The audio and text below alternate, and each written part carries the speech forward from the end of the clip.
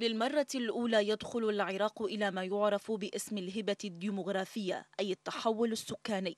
بعد ارتفاع نسب أعمار الشباب إلى 58% والتي تمثل الفئة العمرية ما بين 15 عاما إلى 64 عاما خلال إحصائية أعلن عنها الجهاز المركزي للإحصاء في وزارة التخطيط.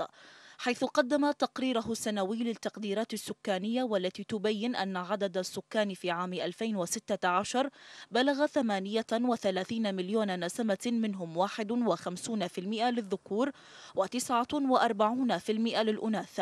وهذا صنف ضمن معدلات نمو عالية للعام الثاني على التوالي. أظهرت نتائج تقرير 2016 أنه السكان من الذكور يعني آه، يزدادون آه، أو يرتفعون بنسبة 51% بالمقارنة مع نسبة الأناث اللي وصلت إلى 49% نسبة اللي أعمارهم من 15 إلى 64 وهي نسبة نسميها نسبة أعمار الشباب ارتفعت إلى 58% آه، مع تراجع نسبة اللي أعمارهم من صفر إلى 15 سنة إلى 37% في عام 2009 بعد ما كانت 41% هذه المؤشرات بالحقيقة تقودنا إلى أن العراق آه، يتجه آه، نحو ما يعرف بالهبة الديمغرافية أو النافذة الديمغرافية. في بغداد لوحدها 16 مركزا تأهيليا تابعا لوزارة العمل والشؤون الاجتماعية.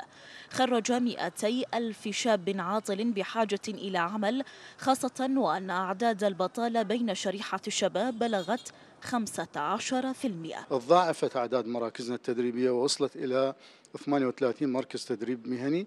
آه، في بغداد وحدها بحدود 16 مركز تدريب مهني. الجهة المستفيدة سواء في القطاعين العام أو الخاص هي اللي تحدد أنه ممكن توظفها أو لا. لجنة العمل والشؤون الاجتماعية البرلمانية تنتقد اعتماد العراق على المورد الأحادي بعد نقاط شبابية اليوم عاطلة عن العمل فساد الكبير المستشري في البلد هو دمر البلد لأنه بعض المافيات الكبيرة المستأثرة بالسلطة يعني قتلت الفلاح العراقي وقتلت المصنع والمصنع العراقي وإلى آخره. كيف يتم تعيين الشباب؟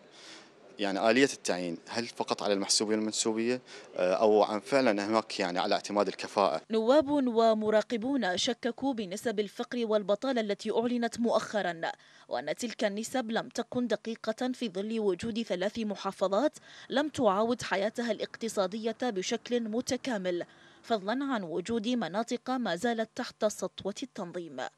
من بغداد خمال الكاتب الحرة.